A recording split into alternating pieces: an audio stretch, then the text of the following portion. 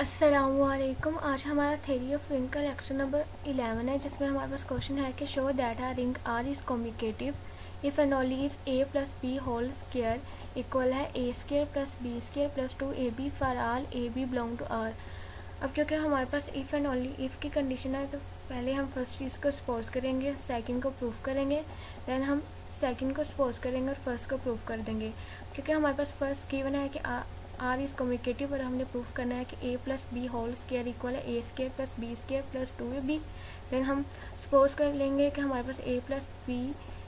whole square equal है। A square plus B square plus two A B और हम proof कर देंगे कि हमारे पास जो रिंग है वो हमारे पास क्या कम्युनिकेटिव है। तो सबसे पहले हम प्रूफ में लेट कर लेते हैं कि let R ring be communicative हमारे पास रिंग कम्युनिकेटिव है तो देन हम लिखेंगे कि हमारे पास A plus B whole square equal है। A plus B multiply A plus B हम A plus B whole square को लिख सकते हैं कि हमारे पास two time multiple of A plus B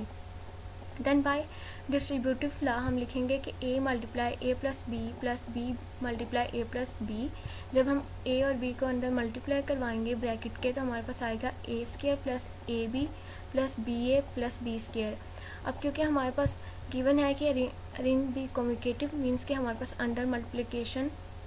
communicative law hold करेगा, यानी ए बी इक्वल होगा बी ए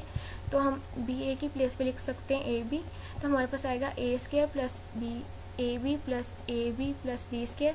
तो नेक्स्ट स्टेप में हमारे पास आ जाएगा a square plus two a b plus b square इस तरह हमने फ़र्स्ट चीज़ को सपोज़ किया और a plus b whole square equal to a square plus b square plus two a b को शो करवा दिया. अब कन्वर्सली हम सपोज़ करेंगे कि a plus b whole square equal है a square plus b square plus two a b for a b belong to R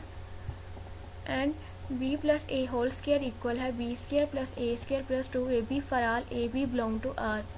अब, क्योंकि हमारे पास रिंग की डेफिनेशन में प्रॉपर्टी है कि हमारे पास जो रिंग होती है under addition commutative law hold करता है, यानी अबिलियन ग्रुप होता है तो हम लिखेंगे a plus b whole square equal है b plus a whole square तो जब हम a plus b whole square और b plus